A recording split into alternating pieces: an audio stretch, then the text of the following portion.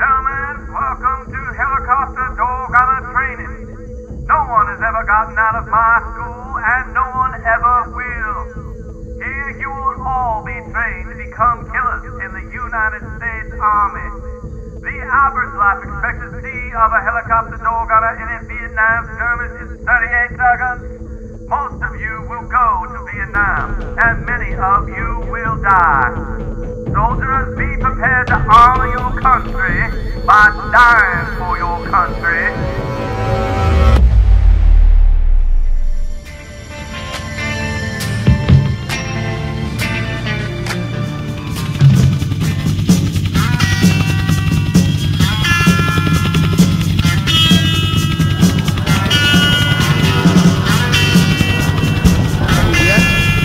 Great many mistakes have been made.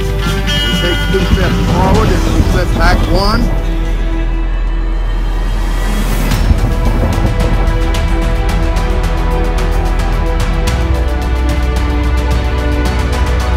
I'm Ed Bowen, and this is my story. In 1968, those very words were proclaimed over my life to forever change my destiny, but God had a different plan. At the height of the Vietnam War, through a unique turn of events, God saved me from certain death and changed my orders. With the protection of His hand, He brought me through the haunted jungles of 1969 war torn Vietnam.